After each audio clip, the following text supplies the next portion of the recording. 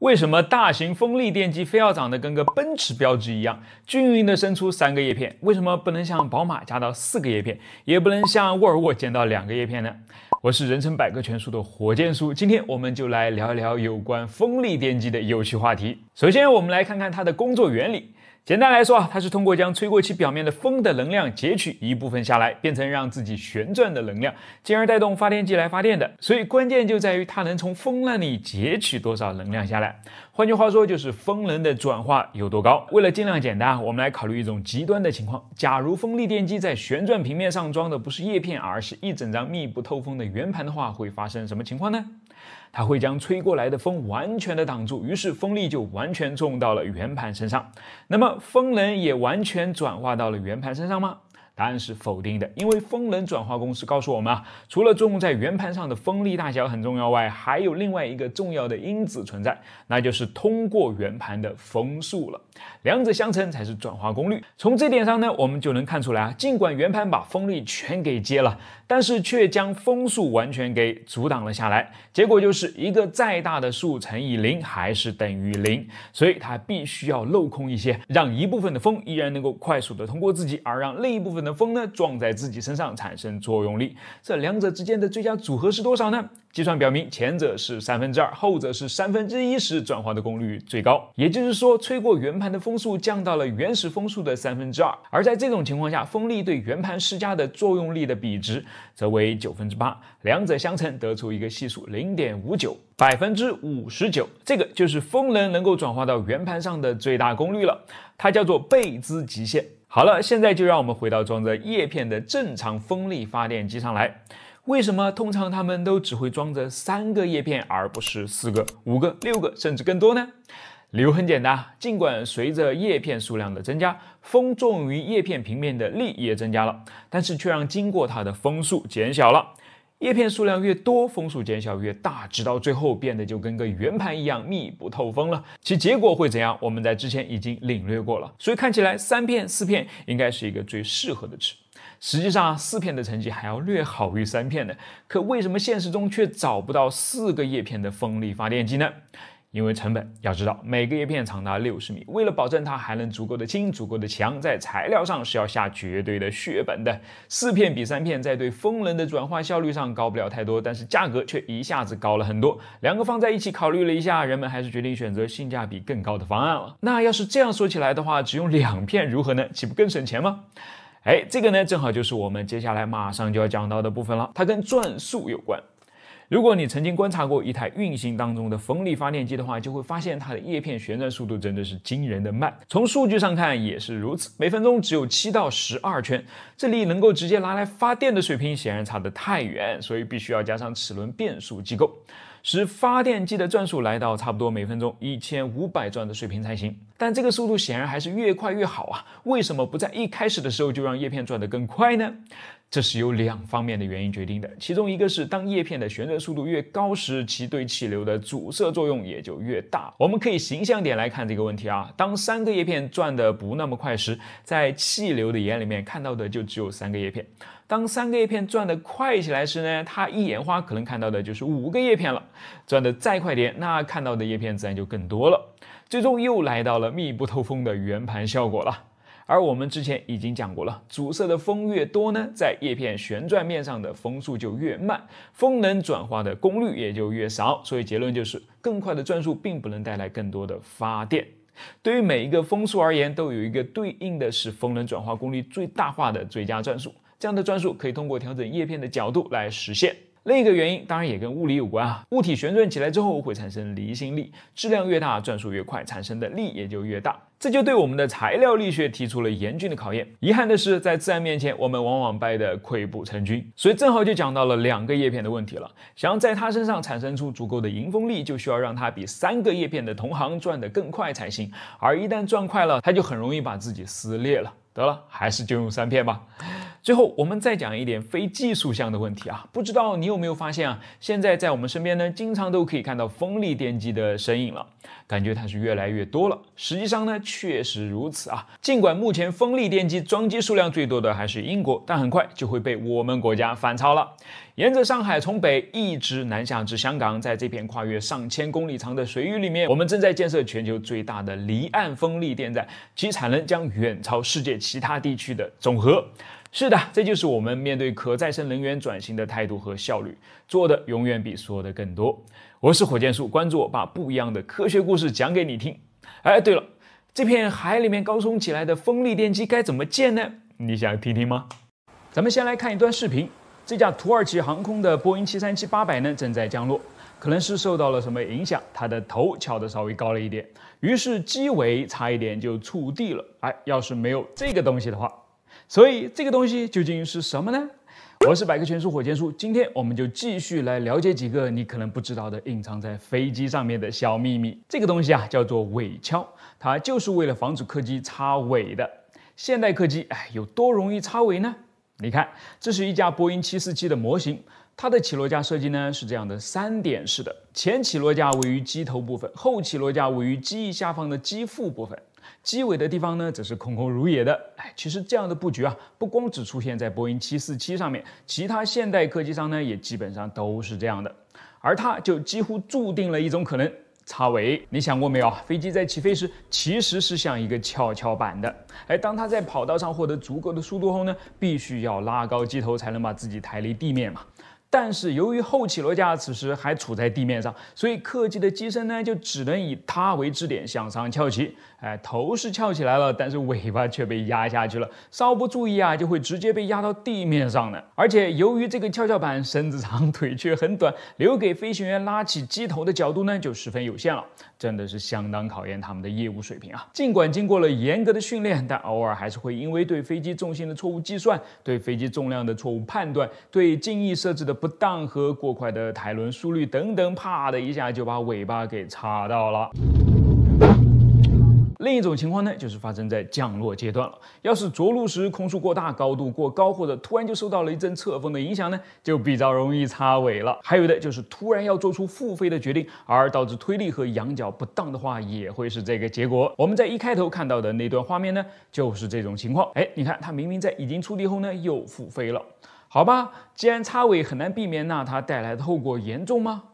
很严重啊！迄今为止，世界上单机死伤人数最多的空难——日航一二三航班事故呢，就是由于在一次飞机插尾后没有正常维修，从而在七年后导致了整个尾翼在飞行中脱落所造成的。另一个著名的空难——华航澎湖空难呢，也是一模一样的原因。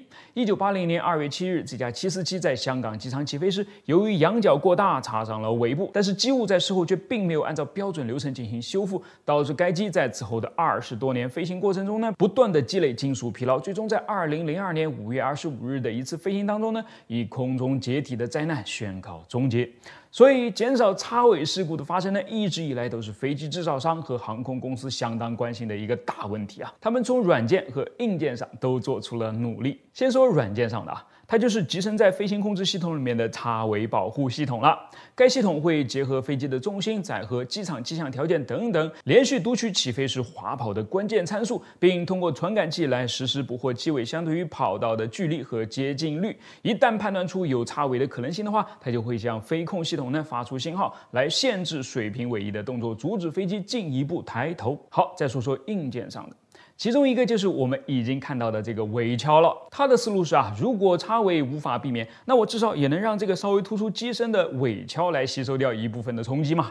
所以尾橇的外形呢，就像是一块裹着金属蒙皮的浮板，在它用来撞击磨损的地方是没有任何液压或者是电路系统的，就相当于是一块没有神经的外骨骼一样。它们有的是固定不动的，有的是可以随着飞机的起飞和降落收放的，有的甚至就是一个小轮子。哎，但即便是这样，它的控制结构呢，也必须要远离机体。总之，在客机的整体设计当中呢，尾橇部分是必须要位于增压舱的结构之外的。说白了，它就是拿来牺牲的。此时，我们应该给它送上掌声啊！可是，有了尾橇，就真的能够带走所有的烦恼吗？哈 哈，并不会啊。一是飞机在起飞和降落时呢，可能发生擦尾的位置是不同的。能够防止起飞擦尾的尾翘呢，也许根本防不了降落时的擦尾；而能够防止降落时擦尾的尾翘呢，又可能对起飞时一无是处。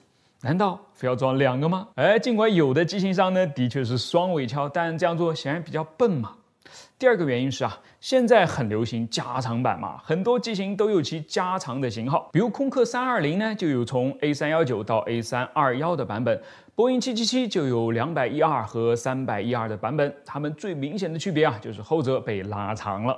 你想啊，在其他参数不变的情况下，更长的机身是不是意味着更容易插尾呢？如果短机身都已经要用尾壳来防止插尾了，那么长机身该拿什么防呢？哎，它就可以拿我们要说到的第二个硬件来防了啊！它跟前面一个尾壳采用的被动防护是不一样的，它是个主动防护。来，我们来看一个例子啊，这架波音七四七受到腿短的影响，在起飞时呢，只能把头抬这么高。那么，要是把它的腿加长，问题不就迎刃而解了吗？但是腿太长，根本就收不回机舱嘛。而且就算是现在这样，飞机制造商还恨不得要把起落架做得更小、更短呢，因为那样就可以省出更多的机翼空间来装燃料嘛，把飞机的航程变长，卖的自然也就更好了。所以该怎么解决这个矛盾呢？哎，半摇臂式起落架就应运而生了，这就是我们要说的第二个硬件了。它的原理是这样的，在这个多轮小车式的起落架上呢，水平的轮子是可以在液压杆的作用下左右晃动的，它可以起到一个收缩减震的作用。但是呢，同样这个小车架的位置是可以被液压杆锁死的，所以我们在起飞滑跑时配合抬头动作，将起落架后面的轮子往下顶，等于就是变相增加了起落架的长度嘛，从而可以让飞机在不插尾的情况下呢，抬到更大的迎角，缩短了起飞距离，类似于一个蹬腿的动作。同样，在降落过程中呢，也可以将后轮放到下面，让它先触地，为机身争取更多的离地间隙，从而避免擦尾。好了，在这样的软硬结合之后呢，疗效自然就更好了。飞机出现擦尾事故的可能性呢，也是越降越低了。如今我们能够安全出行，他们功不可没啊！我是火箭叔，关注我，把不一样的科学知识讲给你听。又到了蚊子最猖獗的季节了。记得以前我有个来自英国的朋友，在南京待了几个月，然后就跟蚊子战斗了几个月，并且还咬牙切齿的给他起了一个外号，叫做“小恶魔”。说实话，这个称号蚊子当之无愧。我们常常会被它小巧的体型给蒙蔽，但夏天里围着你嗡嗡叫的这些家伙，真的是这个世界上最致命的动物，没有之一。历史上大约有一半的人口都是由蚊子杀死的。而近二十年，根据世界卫生组织的统计，平均每年死于蚊子叮咬的人数达到了两百万左右啊！我们这些能够在蚊口下脱险的人真是万幸啊！不过，你有没有发现，当一群人在一起的时候，似乎总是有那么一两个人特别受蚊子的欢迎，就像是一块吸铁石一样，用强大的磁力把蚊子全都吸引到了自己身上，从而换来了同胞们的安宁。我的那位英国朋友呢，就是这样的，所以我特别爱跟他待在一起。为什么会这样呢？我是火箭叔，今天我来讲给大家听。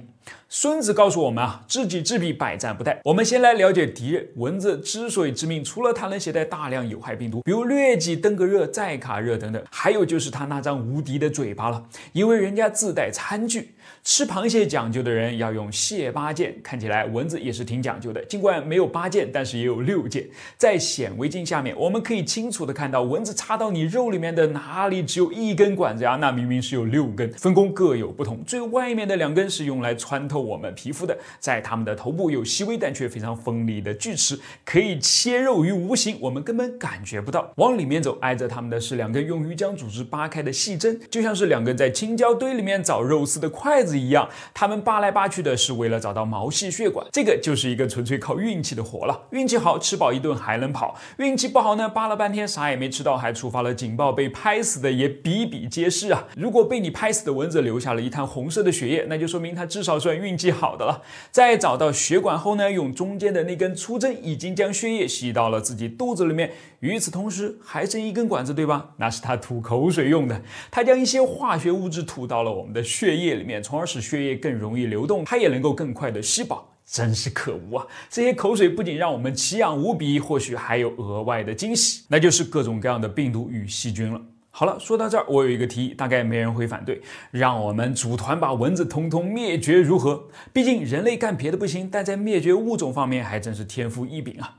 可惜啊，可惜！尽管从民间到实验室，人们想出了各种各样的点子，有物理的，有化学的，最后甚至动用了基因工程，用基因改造来让蚊子只会生出不吸血的男宝宝，但结果还是蚊子屹立不倒。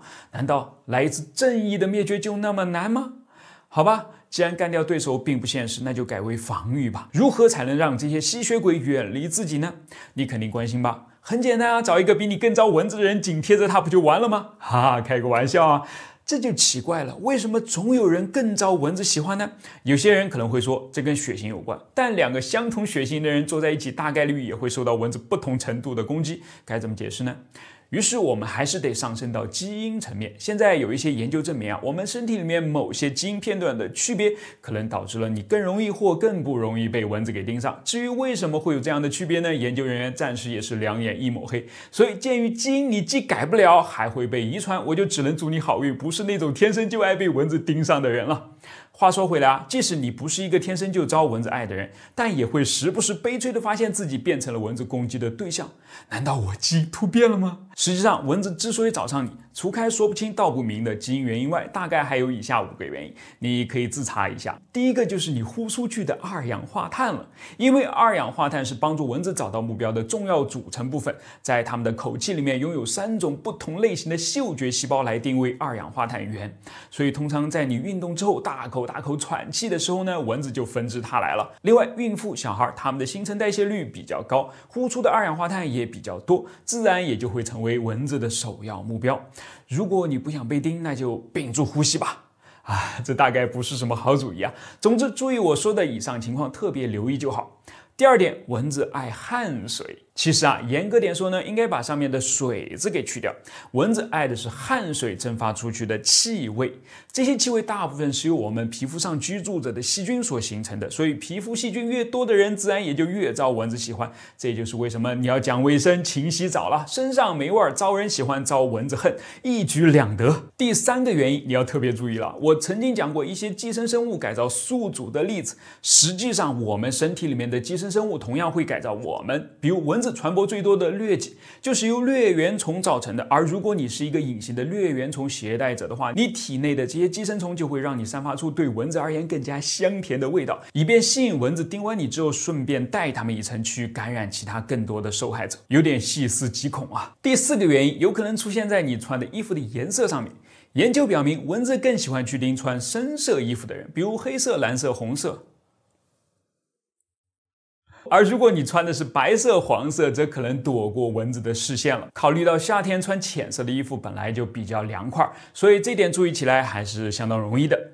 最后一点居然跟喝酒有关。通过实验研究啊，科学家发现喝酒前和喝酒后，同一个人对蚊子的吸引力发生了显著的变化。难道蚊子也喜欢微醺的感觉？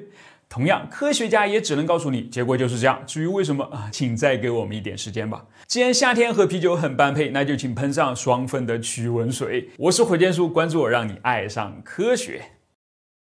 清仓处理最后三天，你有没有经常在一些地方看到这样的标语呢？结果证明啊，天天都是最后三天，这已经成了你我都心知肚明的笑话了。不过你不一定知道，在科学界也有一个几乎跟它一模一样的笑话，尽管版本高级一些，那就是关于可控核聚变了。人们总是在说啊，可控核聚变在未来的十年内就能够变成现实，结果就是啊，这个未来十年似乎对任何时候来讲都是未来的十年。是的，这种属于未来的发电方式呢，燃料丰富、安全可靠，几乎没有。排放，只需要一升海水就能让你的汽车不带尾气的跑上四千公里，诱不诱人啊？当然诱人啊！难怪从政府到民间，从机构到个人都想方设法在往里面扑。可是每次人们认为我们就快要走到终点时，结果却发现只不过又是被自然的力量给耍了一次而已。我是火箭叔，今天我们就来聊一聊，要用上这种无尽的清洁能源，还需要我们等上多久？首先，为什么要用核聚变？其他能源就不香吗？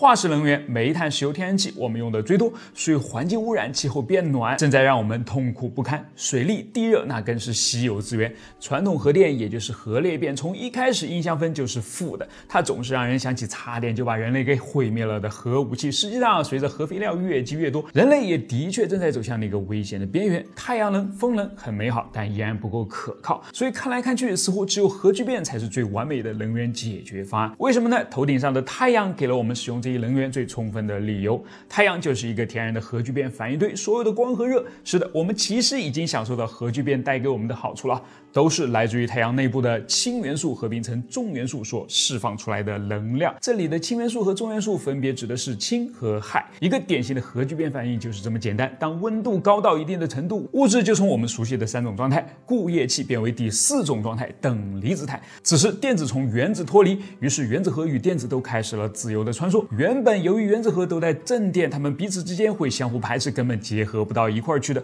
除非速度非常非常非常非常非常的快，快到排斥力还来不及把它们俩推开之前呢，它们就撞在了一起。但要为原子核提供这么高的速度啊，非得要有上亿摄氏度的温度才行。让我们复习一下，太阳核心的温度也不过才一千五百万摄氏度而已。为什么这里的氢核就能够抱在一起形成氦核呢？没想到吧？太阳居然做了一个弊，那就是它用压力换掉了一部分的温度。太阳的质量巨大，所以能够在它的核心产生超强的压力，活生生的把两个原子核之间的空间给压小了。所以哪怕速度慢点，但爆上去的概率呢，却极大的增加了。好了，说到这儿呢，我相信你已经明白了核聚变是怎样产生的了，就是高温和高压，简单吗？在太阳上很简单，不过在地球上嘛，两个条件同时满足，还能够维持上一段足够的时间启动聚变，真的是太难太难了。迄今为止啊，科学家发明了两种使等离子体热到足够融合的方式：磁场约束和光惯性约束。当然，两者在现实当中都有各自的版本，我们可以把它们看成是未来可控核聚变电站的 demo 版。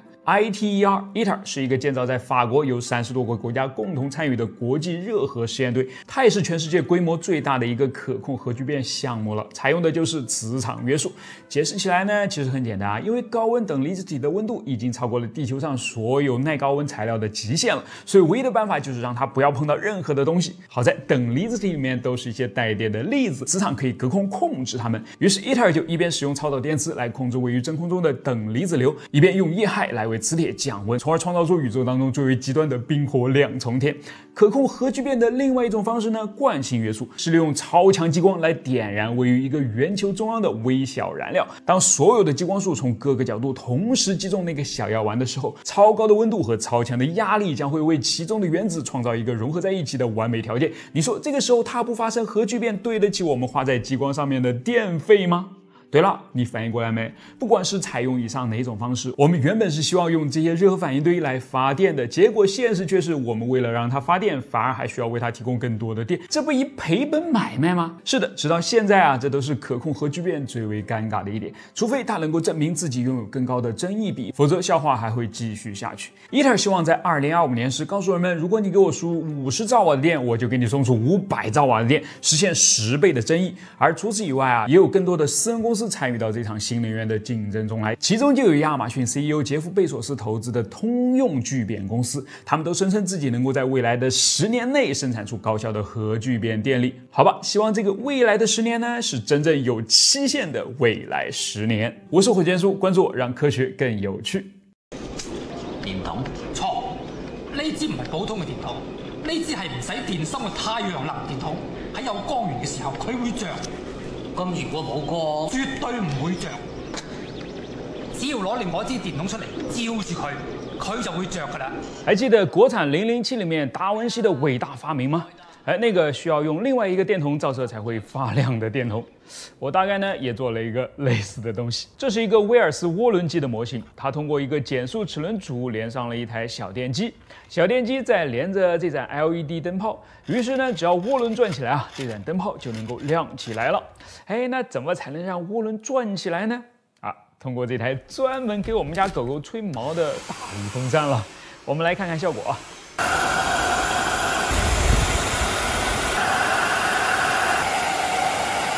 哎，还是不错的啊！虽然原本应该驱动它的是震荡水柱，但无奈啊，我实在是没有这么大的一个水池子啊。而且呢，就算再折中一下做成这个样子，驱动涡轮转起来肯定是没有问题的。但如果还想要带动电机呢，可能也很困难。所以还不如就这样呢。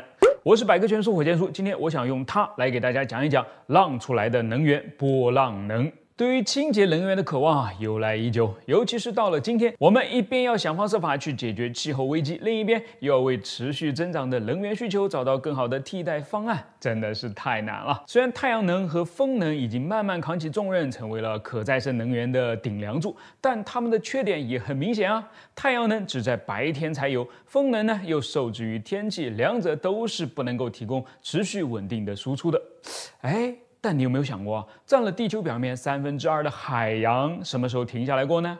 没有吧？所以，如果我们能够从海浪里面提取出能量的话，它。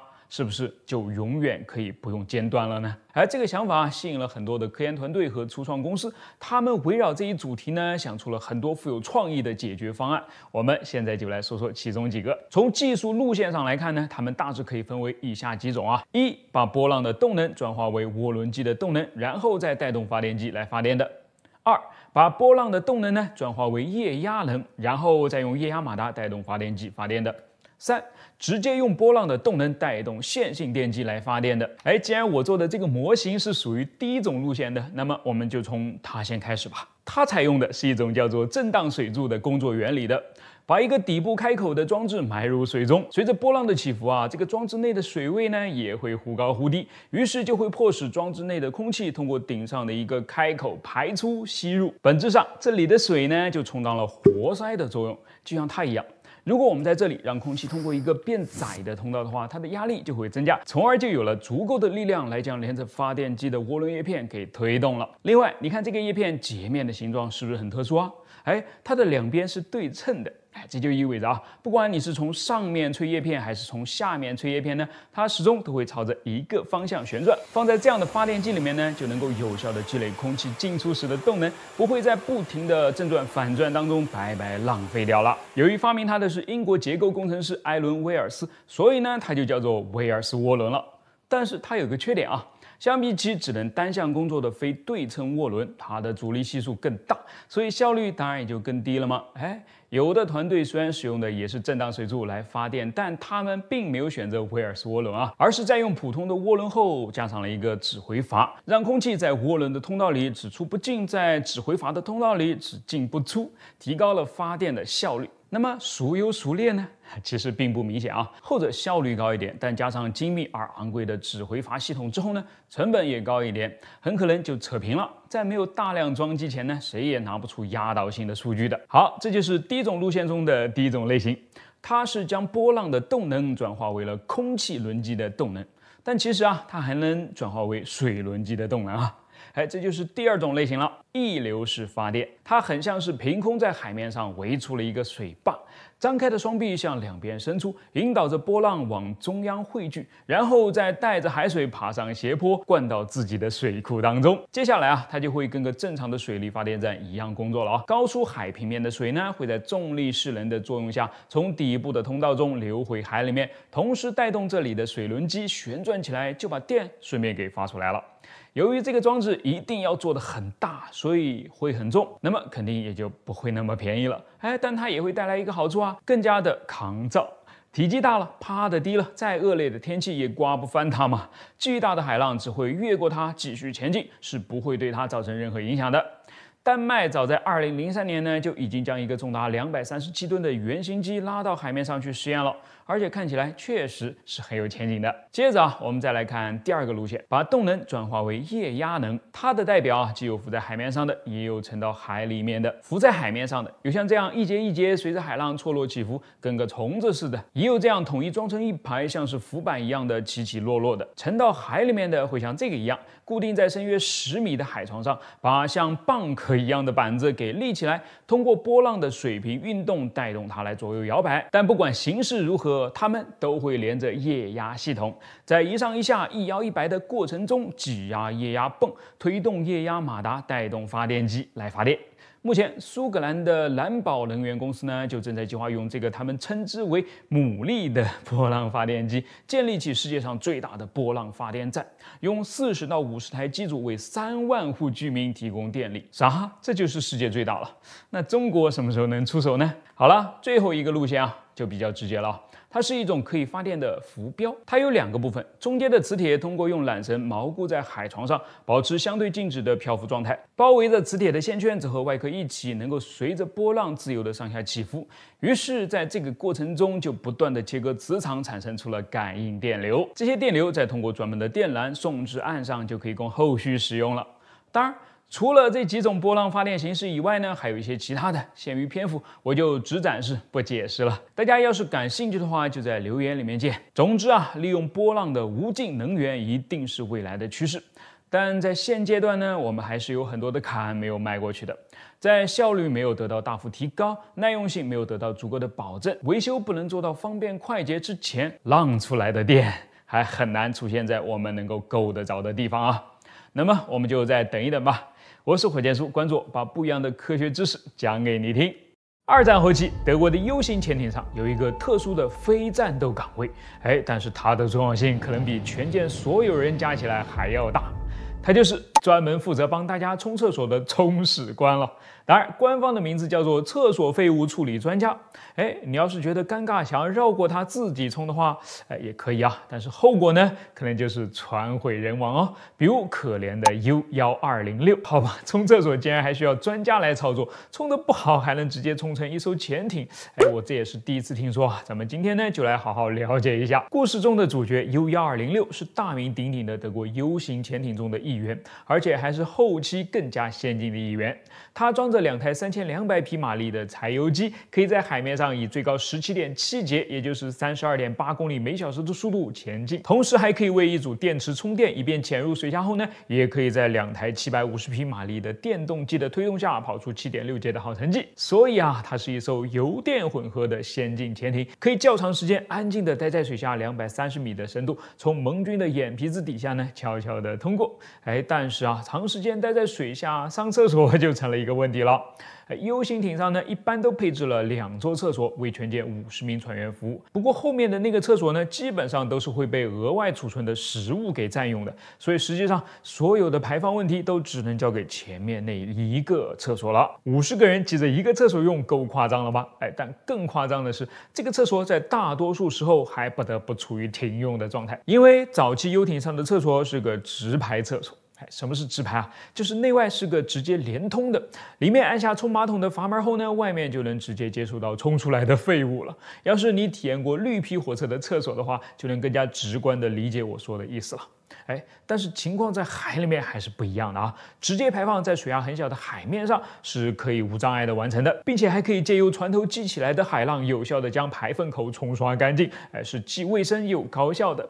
但是在下潜后，随着潜艇周围的水压越来越高呢，直排就变成直吸了，外面的海水会倒灌进来的，于是厕所就被禁用了。船员们要么得忍住，要么就得找一些其他的替代方案了。拉裤子里面显然是不成的，哎，那就拉到一个桶里面吧。这的确是早期游艇里面必备的一样生活物资啊！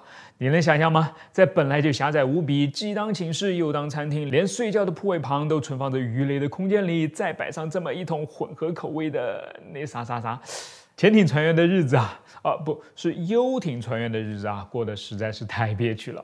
哎，因为盟军那边呢，可能要稍微好一些，他们的潜艇厕所并没有直接连到外面，而是连着几个专门的储藏罐。在每次冲完厕所之后呢，废弃物都会先被收集起来，等到了海面再统一倾倒，所以就少了这么一个水下开罐头的环节，但是却要硬生生的为储藏罐留出空间和重量。德国人觉得划不来嘛，才另辟出了上面那个洗净。这种情况一直持续到德国人所谓的美好时光的结束，也就是游艇战绩最辉煌的时期。那段时间，盟军还没有有效的反潜手段，所以游艇可以借着夜色的掩护，疾驰于海面，对目标发起快速的群狼攻击。由于浮在海面上的时间远大于潜入海里面的时间啊，游艇的厕所还没有暴露出严重的问题。在狭窄的舱室内呢，除了有些柴油味儿、汗臭味儿和偶尔忍不住才发出来的呃那啥。啊，一点的臭味以外呢，空气也还算是清新的。但是时间来到一九四三年，随着盟军反潜技术和力量的极大投入，游艇也被迫开启了它的暗黑时代。哎，需要经常游弋于深不见底的水下，躲过盟军的反猎杀。于是那个桶现在就变成了抢手货了。有很多次啊，当执行完巡逻任务的游艇回到基地后，所散发出来的恶臭，连码头工人都扛不住，直接给熏吐了。只能说，能在游艇上服役的士兵，那绝对不是一般人啊。哎，但再不是一般人，如此环境下战斗力还是会有折损的。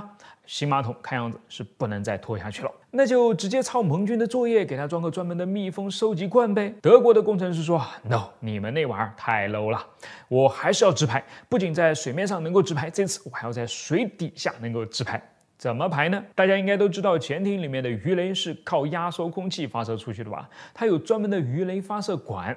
那么，咱用同样的思路去解决马桶里面的东西，可不可以呢？哎，给它也来一个专门的发射管，也用压缩空气将它发射出去，不就好了吗？所以，一段奇妙的便便之旅便在这个高科技的新马桶被按下后开启了。长话短说啊，它先是会被吸入到一个专门的罐子里，然后在这儿被加压，随后再被送到发射位置。在一段倒数口令之后，舱门打开，空气喷涌，粪炮成功发射。当然，那段倒数口令是我自己编的啊，如有雷同，纯属巧合。不过，它也的确反映出了一个事实，那就是跟发射鱼雷需要有专人控制。一样发射这个马桶呢，也是必须要专人操作的。在整个过程中，它必须要一丝不苟、严丝合缝的前后操作很多个阀门，顺序不能乱，力道不能偏，表情不能变。你说这种要求不得要经过长期的训练才行吗？所以在这个五十人的大家庭中呢，就有了这么一个对每个人都了如指掌、专门替大家解决后顾之忧的冲史官了。连舰长也不得不经常有求于他。一九四五年的四月十四日上午，正是装着这个马桶的 U 幺二零六在苏格兰附近的海底呢执行它的第一次巡逻任务。哎，开着开着，位于引擎室的舰长斯利特呢，突然就听到了刺耳的报警声。他很快就了解到啊，原来是一位工程师在试图维修厕所的外侧通风口时，意外引起了漏水，而底部的排水阀呢，还偏偏在这个时候坏掉了。于是，从马桶口涌进来的海水就越来越多。哎，还记得我说过这是一艘油电混合的潜艇吗？为水下电机提供电能的电池啊，正好就位于厕所下方。在泡进海水里面去之后呢，电池发生了分解，有毒的氯气开始释放了出来。很快，船舱内就变得不再适合生存了。在这种情况下，舰长斯利特不得不赌上一把，用浮出水面来排走有毒气体，但同时也侥幸的指望能够在敌人的海域全身而退。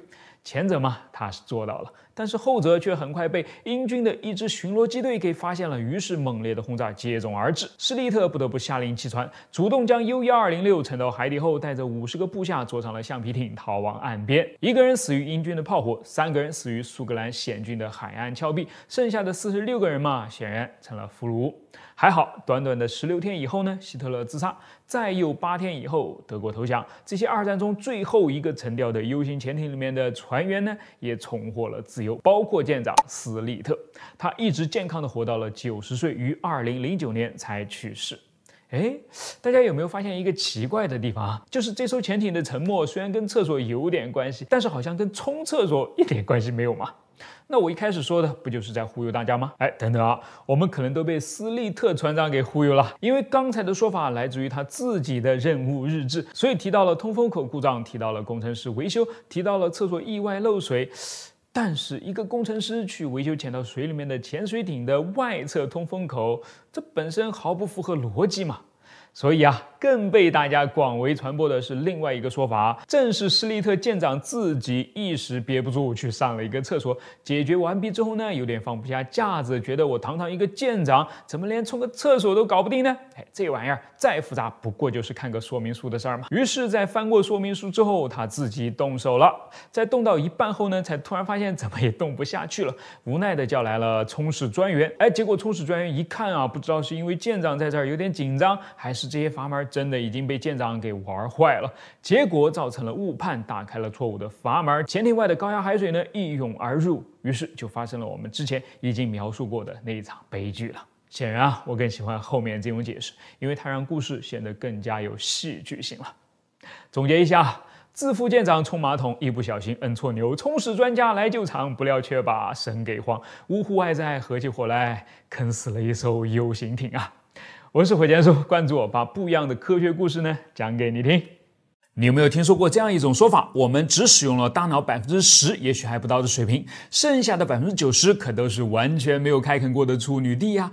听了这个呢，你有没有一种潜能无限的感觉？要是有朝一日能够拿到那把钥匙，打开那百分之九十的宝藏空间，岂不就是神一般的存在了吗？要是你看过超体的话，就会更加感同身受了。说起来，就是冲着斯嘉丽·约翰逊呢，你都值得去看看那部电影的。不过，不管你拿到的是一把钥匙，还是一勺药水，他们肯定都是没。用的。实际上，大脑只开发了百分之十这样一个说法呢，根本就是一个误解。它最早源自于美国心理学之父威廉·詹姆斯的一句话。大部分人其实还没有达到他们应该有的大脑潜能水平。这句话听起来没错啊，但传播的时候却变了味，仿佛是在告诉大家：嘿，其实我们的脑子里面还有很多的空间完全没有使用到呢。于是啊，大脑只用了百分之十，这个误会就开始变成了传说，并持续不断的影响人们了。再加上在很长一段时间之内呢，科学家的确也搞不清楚我们的大脑内大量的额叶和顶叶的具体作用，因为即使是由于意外而损伤了额叶和顶叶之后呢，似乎对人体。也不会有什么影响，照样身体倍儿棒，胃口倍儿好。于是啊，就给它起了一个非常好听的名字，叫做“沉默的区域”。但后来的研究表明啊，他们才一点都不沉默呢。实际上，额叶和顶叶对我们的抽象推理能力、规划和决断能力、适应环境的能力至关重要。的确，好像他们确实不影响吃喝拉撒，但以上的这些能力呢，才是如今对每个人而言最为重要的东西了。既然沉默区域不再沉默了，我们再来看看所谓的百分之九十的大脑都是占着茅坑不拉屎这个说法有多么的没有道理。首先，从能耗上就完全说不通啊！成年人的大脑质量只占体重的百分之二，却要消耗掉每日摄入能量的百分之二十；儿童大脑消耗的能量比例更高，达到了百分之五十，而婴儿更是高达百分之六十。如果其中有九成都被这些成天只晒太阳不干活的家伙给浪费掉了，你要是老板，你干吗？肯定不会啊！要真是那样的话，进化早就把他们给裁掉了。好吧，既然这百分之九十肯定没有都闲着，但我们大脑的利用率到底有多高呢？这就要说到它是怎么样工作的了。人类大脑之所以要吃掉那么多的能量，完全是由于它往里面塞了太多的神经元了，高达八百六十亿个。对比一下，大猩猩的大脑里面神经元数量是五百三十亿个，这就意味着啊，即使啥事儿也不做呢，光是为了让这八百六十亿个神经元保持正常，就要为此烧掉一半的能量。但他们不能不干活啊，所以还得要另外花上使神经元放电的能量，才能使信号在各个神经轴突和神经突触之间传递。这下子能量严重吃紧。如果让他们都保持随时待命状态的话，只需要一次信号发射，就会造成大脑的全面宕机了。为了避免这种情况发生呢，大脑必须非常高效的利用能源。怎么做呢？那就是只让其中一小部分的脑细胞始终保持在线，并通过一种叫做稀疏编码的过程，最优化信息的传递路径，使它们能够以最少的能耗换来最大的信息承载量。这部分始终在线，可以随时被激活的脑细胞占比是多少呢？进化帮我们找到的最佳比例是百分之一到百分之十六。这就是通常你在有意识的思考时所必须要启动的那部分了，而剩下的那些呢？为了节约能量啊，他们便处于了无意识工作的状态。这就是为什么你越是想要同一时间多做几件任务呢，往往越是徒劳。本质上，我们是缺少能够多线程工作的能量啊。所以看起来呢，我们的大脑已经足够强大聪明了，强大到它需要极大的能量才能保持自己强大，而聪明到它已经为此建立了一套高效的节能机制了。大脑都这么拼了，你还好意思偷懒吗？想想你可是有数百亿个饿得要命的神经元需要喂饱的呀！如果浪费它们了，就真的太可惜了。奋斗吧，少年！我是火箭叔，关注我，让科学更有趣。小时候，我的卧室门框上画了很多根线，有的线旁边还标注了日期。直到这些线条越变越密，越变越密，最后停在了一条粗线上。你们都猜到了啊，那就是用来量身高的。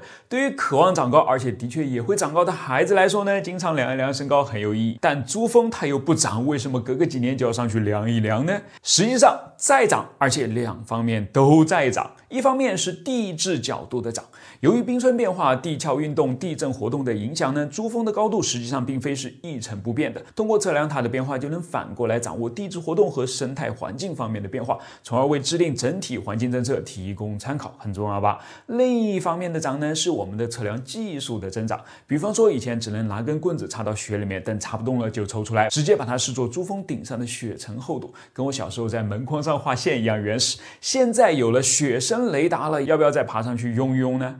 比方说，以前在用到全球卫星导航系统来对珠峰进行遥感测绘时，只有 GPS 一个选择。现在我们有了自己的北斗卫星系统，要不要用呢？在地球上最严苛的环境中实战这些不断进步的测绘技术，才能够帮助我们建出世界上最长的港珠澳大桥，才能够用精确的导航带着你去远方。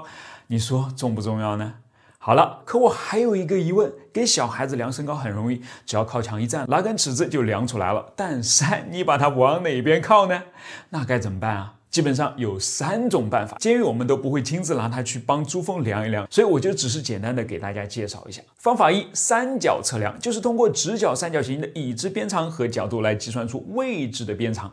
这条未知的边长当然就是我们想要知道的山峰的高度啦。在实际操作中，为了做到足够精确，三角测量有几点非常重要：一是你必须亲自爬到山顶上立起一个参标，好让山脚下的测绘人员有的瞄准。这次珠峰重绘的参标就是首次由专业测绘人员亲自带上去的，所以显然我们可以预期有更加精确的结果。其次就是要确定啊，山底到底在哪儿呢？或者说我们选的其他几个参考点的精确位置和精确海拔到底是多少？这样才能依据它们计算出最终的结果。好，再让我们看看方法二：全球卫星导航系统。是的，就是你手机上面也有的导航了。它也是需要你亲自带上卫星接收装置爬上山顶的。也许你会说，它不是定位的吗？怎么还能测高吗？是的，不过相比起来，卫星定位既快又准，定起高度来呢就要慢很多了。你需要在卫星收集到足够多的信息前待在原地好一段时间。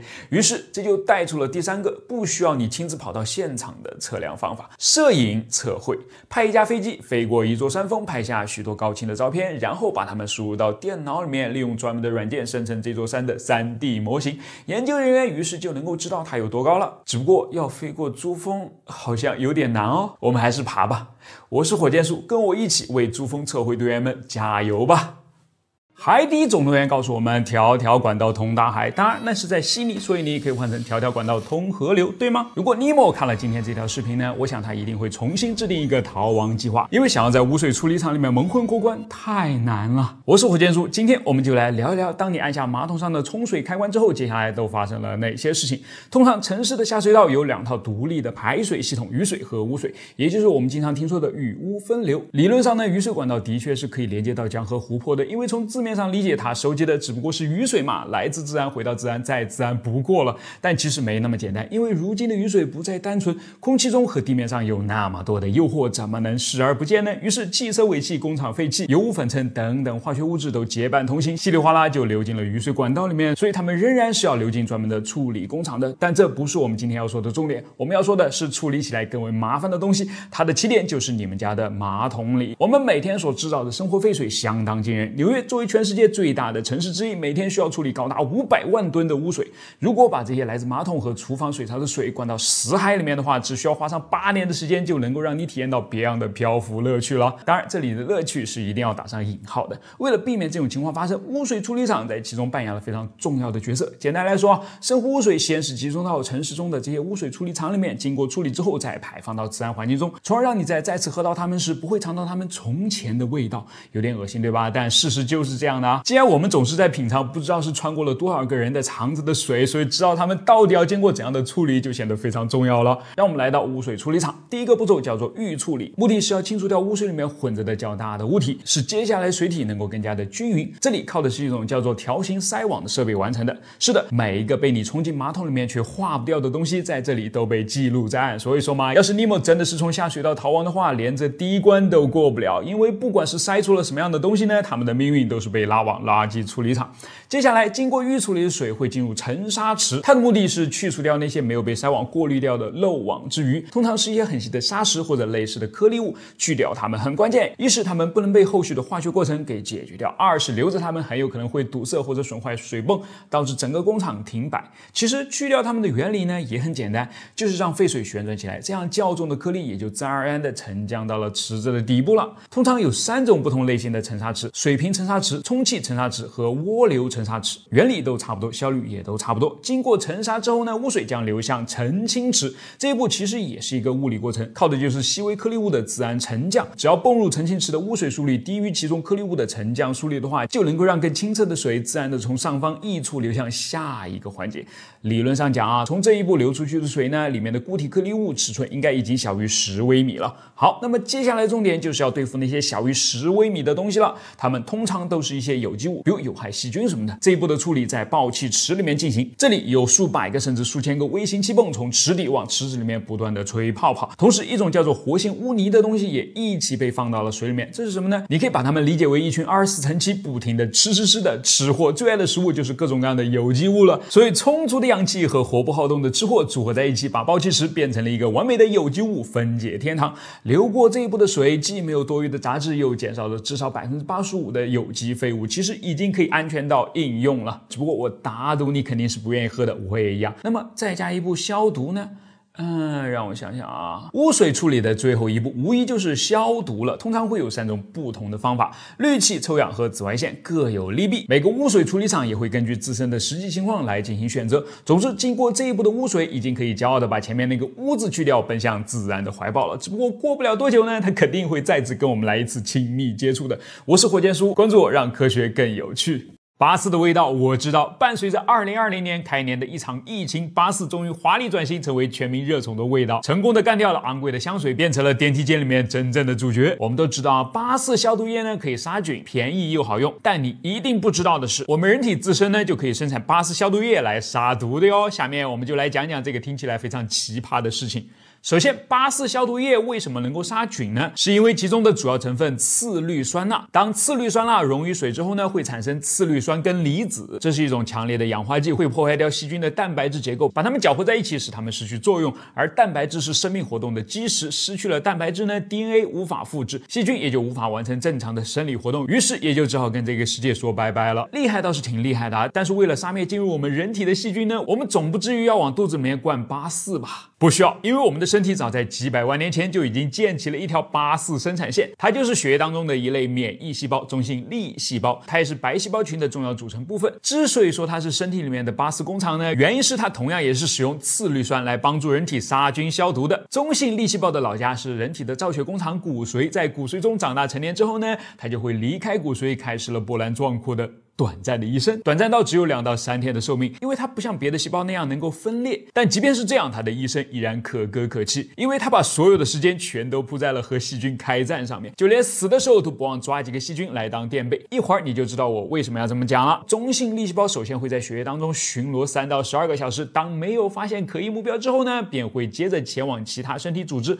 继续挨家挨户的排查，看看有没有受到感染的地方。当它一旦嗅出了细菌的味道的时候呢，就会减速停车。然后粘在血管上发出这个该死的气味的地方，接着穿过血管壁进入受到感染的组织内部，找到那个早已经被抗体打上了标记的细菌，然后张开大口把它们一吞而下。接下来啊，巴斯登场了。哦，不应该说是巴斯在这儿找到了灵感啊，因为这个时候呢，中性粒细胞开始快速产生次氯酸和其他一些强氧化剂，并配合酶的作用呢，把吞进胃里面的，哎，准确说是一个叫做吞噬体的囊泡里面的细菌给融化掉了。这个叫做吞杀。中性粒细胞还有别的杀菌手段啊，比如对着细菌吐口水，这可以叫做点杀。它向细菌喷出的是有毒的酶，能够将细菌喷死。我们平时看到的伤口化脓啊，就是中性粒细胞喷完细菌之后留下的案发现场了。最后是最为壮观的自杀了。在用前面两个方式干掉细菌之后呢，我们的勇士中性粒细胞并不会凯旋而归，相反，它会原地等待死亡。首先开始慢慢的缩小，然后开始变成碎片，接着被其他的细胞给吃掉。就这么在平。静里面结束自己辉煌的一生了吗？No，中性粒细胞的字典里面是没有平静一词的啊，它会在最后时刻吐出体内的物质，比如 DNA 等染色质，形成一张网状的陷阱，用来诱捕未来可能路过的细菌。当我们谈到为后人做贡献时，谁能够达到中性粒细胞这样的高度呢？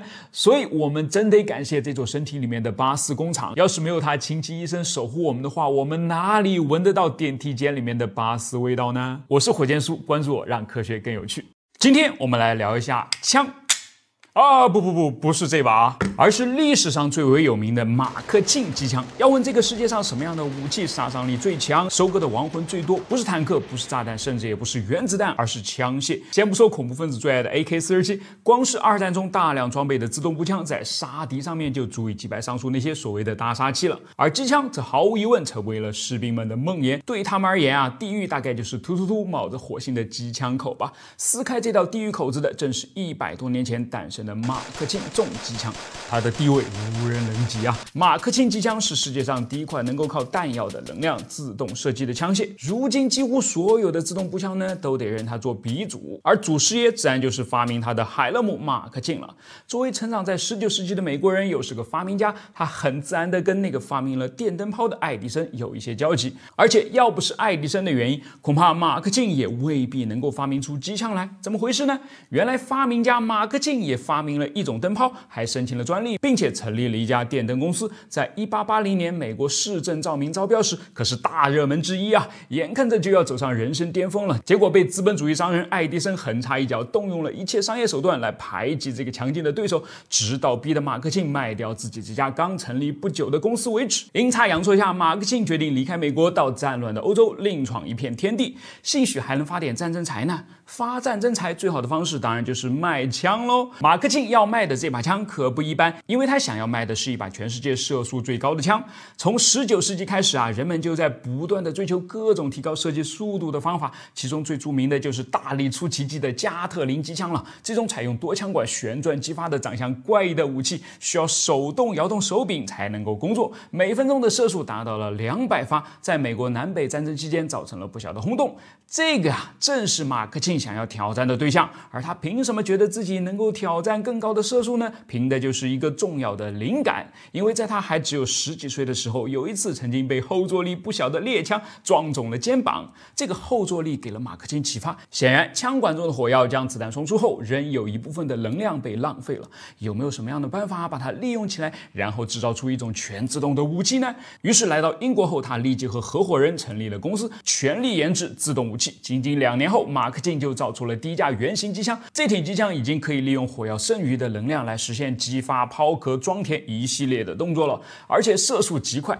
第一次装进去的六发子弹呢，不到半秒钟就突突突打光了，惊呆了前来参观的英国剑桥公爵。想让马儿跑，怎能不让马儿多吃草呢？为了解决高射速下稳定可靠的弹药供应系统，马克沁随后设计了一种可以容纳三百三十三发子弹的帆布弹链，然后又在枪管上添加了一个水冷式的散热器。保证机枪的持续射击能力，使它能够达到每分钟六百发的高射速。不得不说啊，是金子到哪儿都会发光。卖灯泡让你爱迪生给堵了，这回我卖机枪还能不发财吗？的确，马克沁机枪几乎一战成名，短时间之内就成为世界各个战场上的人民收割机。尤其是一战那场旷日持久的索姆河战役中，德军采用改进版的马克沁机枪 MG 零八死守防线，直到一百四十一天战役结束时，英法联军总共才推进了十公里多一点。而且在这场战战役中，德军还应用了先进的超越射击战术，第第一天就造成了英军近六万人的阵亡。所谓超越射击战术呢，就是通过带仰角的射击，将子弹抛射至原本有效射程以外的区域，依靠密集的弹雨杀伤躲在掩体和战壕中的敌人。这种战术让马克沁机枪的杀伤范围提升至四千米。英军首日伤亡的士兵大多都是倒在了德军机枪阵地两公里开外的地方。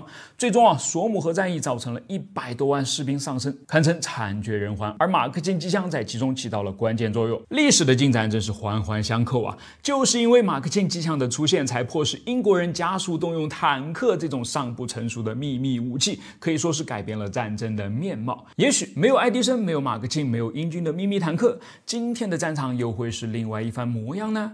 也许是吧，但马克沁的确实现了他的人生巅峰，在揣着卖机枪赚来的钱后，搞起了大型游乐设施的研究，并在英格兰建起了世界上第一座游乐场。一边是残酷的杀人机器，另一边却是温馨的欢乐工厂，这跨界谁能敌呀？难不成真是被爱迪生给逼到了人格分裂吗？好吧，我是火箭叔，关注我，后面我们来讲讲爱迪生。